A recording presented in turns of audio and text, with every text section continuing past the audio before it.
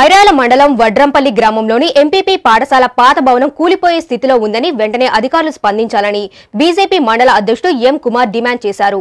విద్యార్థుల సౌకర్యార్థం ప్రభుత్వ అధికారులు తక్షణమే పాత స్కూల్ భవనం పడగొట్టి నూతన భవనాన్ని నిర్మించాలని కుమార్ కోరారు.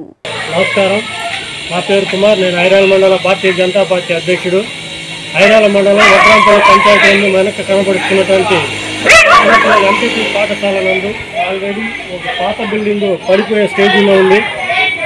నాడు నేడు కార్యక్రమంలో నాడు నేడు కార్యక్రమంలో కూడా ఈ స్కూల్కి సంబంధించి టీచర్స్ అర్జీ ఇవ్వడం జరిగింది. అయినా ఇక్కడికి నాడు నేడు కార్యక్రమంలో మా పాఠశాలకు మా పంచాయతీలోని పాఠశాలకి అనుమతి లేక అనుమతి లభించలేదు. ఇప్పుడు ఉన్నటువంటి వర్షాల కారణంగా పాత బిల్డింగ్లన్నీ పడిపోతున్నాయి. ఇప్పుడు ఇక్కడ పన్నెండు మంది ఉన్న పిల్లలు ఇప్పుడు యాభై రెండు మంది స్ట్రెంత్ పెరగడం కూడా జరిగింది.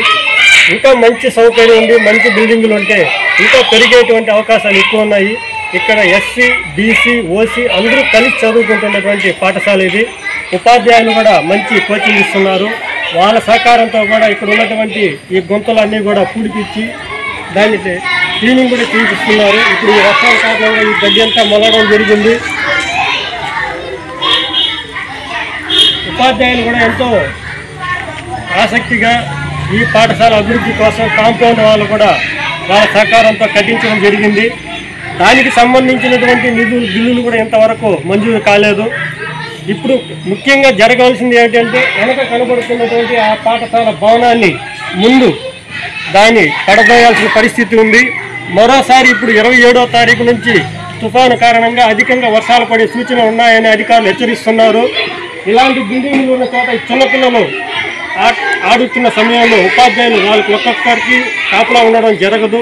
వాళ్ళు వెళ్తున్న సమయంలో ఆ బిల్డింగ్ కానీ పడిపోతే ఉపాధ్యాయులకు ఇటు మా పంచాయతీలో ఉన్నటువంటి నాయకులకి అందరికీ పెద్దలకు కూడా ఇబ్బంది కలిగే అవకాశాలు ఉన్నాయి.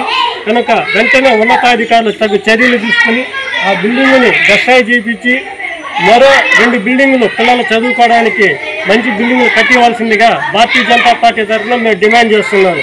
జై భారత్ జై బీజేపీ.